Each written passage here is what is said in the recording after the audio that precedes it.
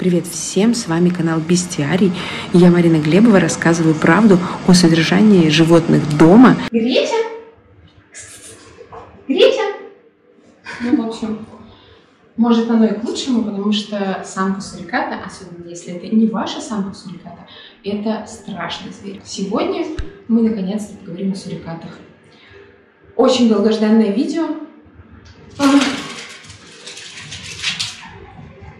Во многих видео мы рассказывали, что а, сурикат – животное социальное, а, но тем не менее это животное с некоторыми особенностями в характере.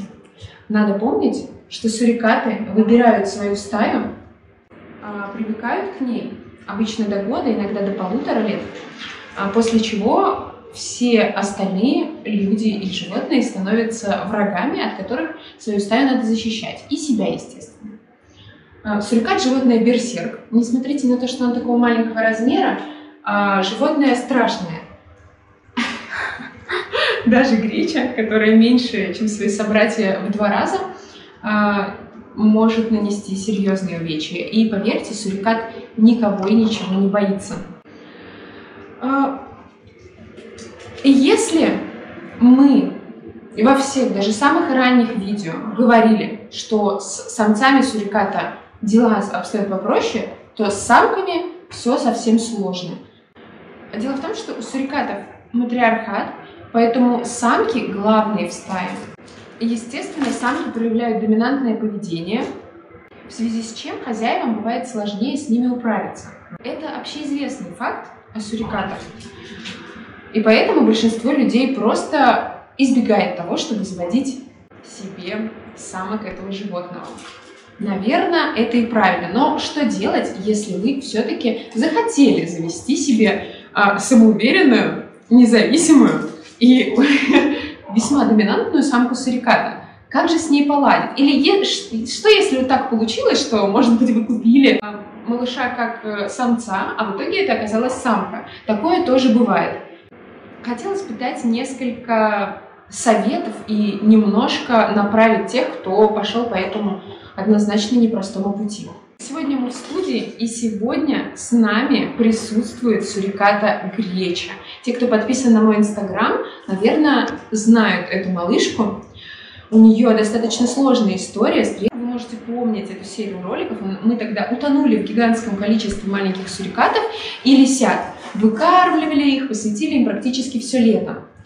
А, но мало кто знает, только подписчики Инстаграма. Когда малыши переехали в вольер, в один из дней мы пришли утром в животник, а один из малышей сурикатов не может закрыть рот. Сидит вот в таком положении. Пытается кушать, но кушать не может. Мы точно до сих пор не знаем, что произошло. Но, естественно, мы сразу поехали с этой малышкой э, по докторам. И в ветеринарной клинике Сотникова доктор Марина Казимирчук сделала ей КТ, и оказалось, а, мы надеялись, что, может быть, это какой-то вывих, но оказалось, что это сложный перелом. А, малыш Сурикат сломал себе челюсть в двух или трех местах, я уже точно не помню. Надо сказать, она была самой активной и самой, и самой бодрой и борзой из всех малышей. Наверное, это и послужило основной причиной такого несчастья.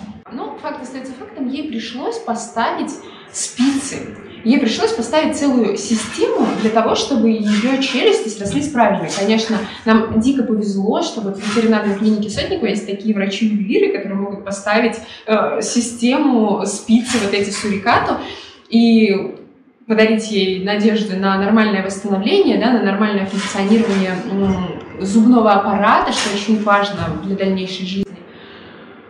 Но Суть была в что с этим аппаратом рот у нее уже не закрывался вообще, жевать она не могла ничего, есть она не могла ничего. И эту крошку приходилось кормить с катетера прямо в желудок. Мы брали детские пюрешки, там мясные, овощные, добавляли витамины, балансировали корм, но все это приходилось заливать прямо со шприца в желудок. Это достаточно стрессовая операция, и понятно, что для малышки это была большая печаль. Да и для нас большая печаль была шесть раз в день заливать в нее корм стабильно.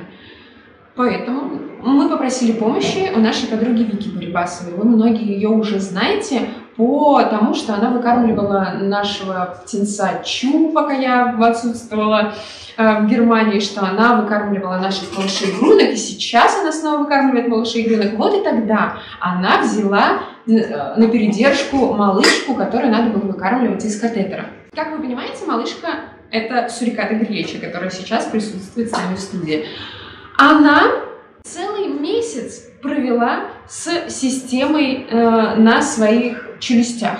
Целый месяц сращивались э, ее кости. При этом э, мы ездили наблюдаться в клинику, и в один из моментов спицы пришлось немножко переставлять. То есть в общей сложности она пережила три операции. Установку, переустановку и снятие спиц. И все это за месяц. Неудивительно, что при таком стрессе она за этот месяц не набрала ни грамма. При этом ей было всего два месяца. Это такой очень активный период э, роста и набора веса. Э, я не знаю, почему она не могла есть очень много корма. Я подозреваю, что это связано именно с искусственным его заливанием. Но если Вика э, пыталась залить ей еды побольше, ее просто рвало.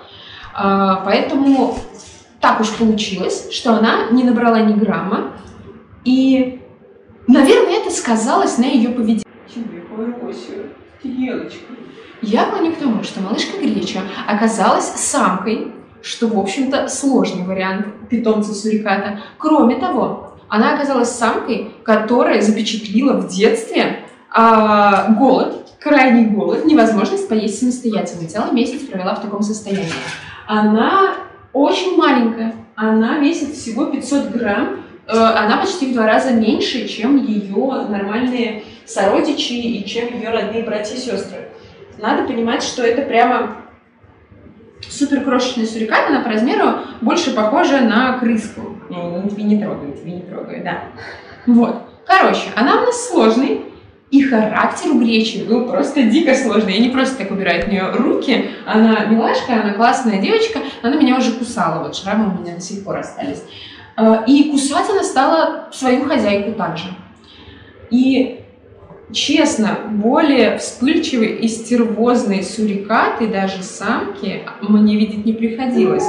Грече очень повезло. Вика, чтобы вы ее представляли, она не любит сниматься, но она ростом где-то метр сорок пять, метр сорок пять, ладно, весит 35 килограмм, и при этом у нее живет огромная нестандартная переросток а, восточноевропейская овчарка Кай, который весит больше, чем она.